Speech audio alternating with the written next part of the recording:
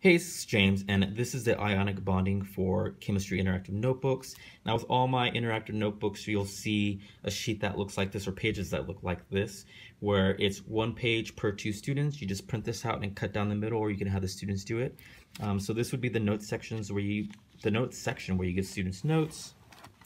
I also build in some gradual release where the students practice. So for example, after you've taken some notes and you get to the practice section, it's an I do as a teacher. This is what you would do.